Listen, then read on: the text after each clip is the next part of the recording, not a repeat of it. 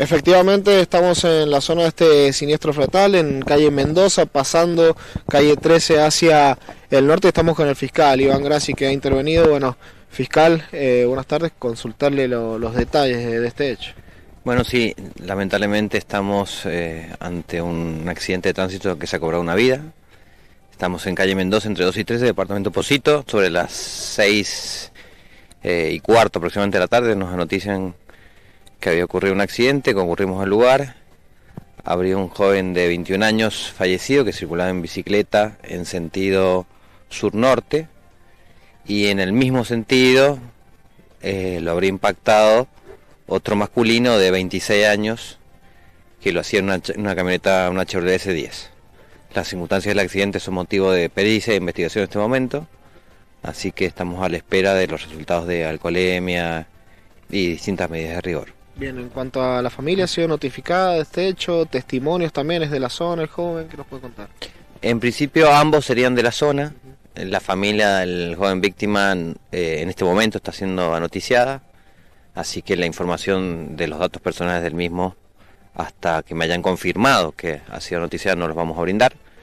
Eh, el otro joven se encuentra detenido, el conductor de la camioneta, y eh, ha estado trabajando criminalística en el lugar. Todo ha sido vuelvo a decir, en el carril de circulación por calle Mendoza que va de sur a norte. En cuanto al conductor de la camioneta, ¿le ha podido brindar algún relato de lo ocurrido?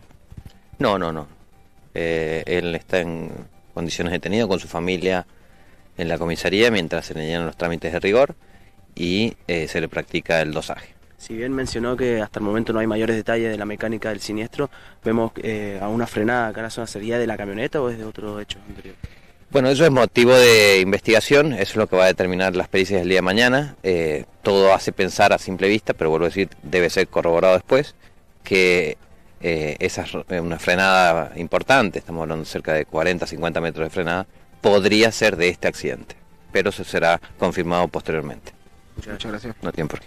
Bueno, hasta ahí la palabra del fiscal Iván Gracia dando detalles. 21 años este joven eh, de la zona, hasta el momento, bueno, no ha preferido no, no dilucidar justamente su identidad porque eh, está siendo notificada la familia, pero bueno, se puede ver eh, una, una frenada, digamos, en la zona extensísima, unos 40 eh, metros.